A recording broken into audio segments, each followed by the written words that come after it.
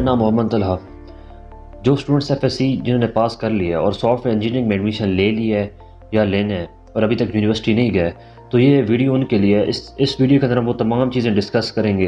वो तमाम रिक्वायरमेंट्स को मद्देनज़र रखेंगे जो कि एक स्टूडेंट के पास हो जो स्टूडेंट्स रिक्वायर होती हैं सॉफ्टवेयर इंजीनियरिंग करने के लिए। ठीक है?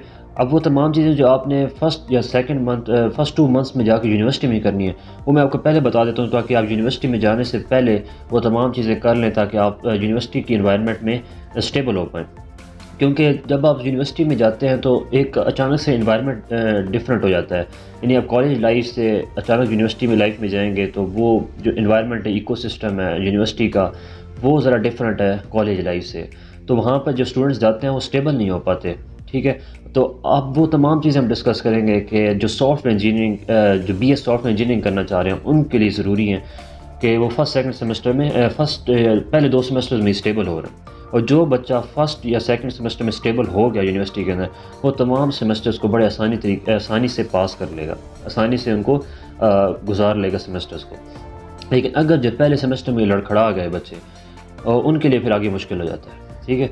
तो अब वो तमाम चीज़ हम डिस्कस करेंगे। सबसे पहले आपके पास, आपने सॉफ्टवेयर इंजीनियरिंग करनी है, सबसे पहले एक रिक्वायरमेंट होती है आपके पास अच्छा लैपटॉप होना चाहिए। यानी उसमें एसएसडी लगी होनी चाहिए ताकि जो फास्ट चले वो, ठीक है? अब दूसरी चीज़, अब लैपटॉप आपके पास है, अब आपने कौन सा सॉफ्टवेयर डाउनलोड करना है यूनिवर्सिटी में जाने से पहले और उस पर कौन कौन सी चीज़ें प्रैक्टिस करनी है यूनिवर्सिटी में जाने से पहले? अब आपने करना कि आपने डेव सी प्लस प्लस क्योंकि मैक्सिमम यूनिवर्सिटीज़ जो है ना, वो सी प्लस प्लस लैंग्वेज को प्रेफर करती हैं फ़र्स्ट फ़र्स्ट फोर सेमेस्टर्स के अंदर। ठीक है, पहले चार सेमेस्टर आपको सी प्लस प्लस लैंग्वेज पढ़ाई जाती है। आई थिंक सो सिर्फ़ कॉम सेट यूनिवर्सिटी ऐसी है, जो कि जो पाइथन लैंग्वेज पढ़ा रही है, वरना बाकी सारी यूनिवर्सिटी जो हैं, वो स्टार्ट में सी प्लस प्लस लैंग्वेज को ही प्रेफर करती हैं। तो आपने सी प्लस प्लस लैंग्वेज के लिए एक जो सॉफ्टवेयर है डेव सी प्लस प्लस उसको आपने डाउनलोड करना है। उसका लिंक मैं डिस्क्रिप्शन बॉक्स में दे दूँगा। वहाँ से आपने क्लिक करना है और जाके डाउनलोड कर लेना है अपने पीसी या लैपटॉप के अंदर। ठीक है? अब आपने डिवाइस सी प्लस प्लस जो है वो डाउनलोड कर लिया। अब यूनिवर्सिटी जब जाता है बच्चा, जिसने प्री इंजीनियरिंग की है या प्री मेडिकल से अचानक सॉफ्टवेयर इंजीनियरिंग में चला जाता है तो उसके लिए बड़ा मुश्किल होता है पहले दो मंथ्स को स्टेबल करना। अपने आप को उसमें स्टेबल रखना। ठीक है? अब ऐसी ऐसी चीज़ें जो बिल्कुल न्यू होंगी हमारे लिए, क्योंकि हमें सी प्लस प्लस लैंग्वेज के बारे में पता ही नहीं होगा।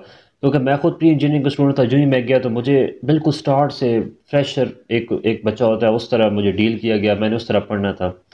ठीक है, अब जो आईसीएस वाले बच्चे हैं, उनको सब कुछ आता होता है, यानी सी प्लस लैंग्वेज की जो बेसिक्स हैं, उन्हें पता होती हैं।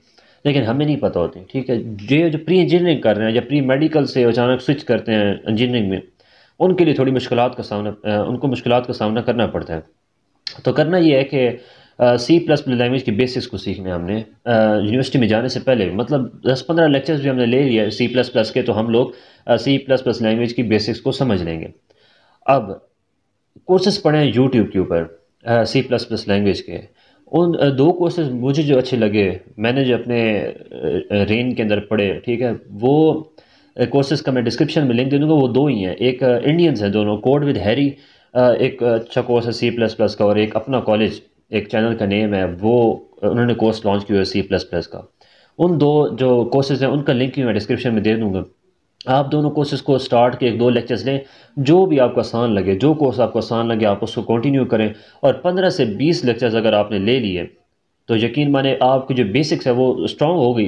तो आपने जो यूनिवर्सिटी के फ़र्स्ट टू मंथ्स हैं, वो आप स्टेबल हो जाएँगे। और जब आप स्टेबल हो गए फ़र्स्ट टू मंथ्स तो फिर इसका मतलब है आप सेमेस्टर अच्छे जी के साथ क्लियर कर लेंगे। और फिर पहला सेमेस्टर अगर अच्छे जीपी के साथ क्लियर हो गया और पहले सेमेस्टर में कोई कंपार्ट नहीं कोई जीपीए में कमी नहीं है तो इसका मतलब है आप अगले सारे सेमेस्टर्स में आसानी से जीपीए लेते रहेंगे। तो ये तमाम चीज़ें जो है ना, इनको ज़रा, ये छोटी सी चीज़ें, मैंने आपको सिर्फ़ यही बताना था कि आप जो है ना बेसिस को स्ट्रॉन्ग कर लें जाने से पहले सी प्लस प्लस लैंग्वेज अगर यूनिवर्सिटी में स्टेबल होना है तो सी प्लस प्लस लैंग्वेज को आपने अच्छे तरीके से बेसिक्स को उनके स्ट्रॉन्ग कर लें और जब जाएँगे यूनिवर्सिटी तो आप, आपको आसानी होगी सर्वाइव करने में।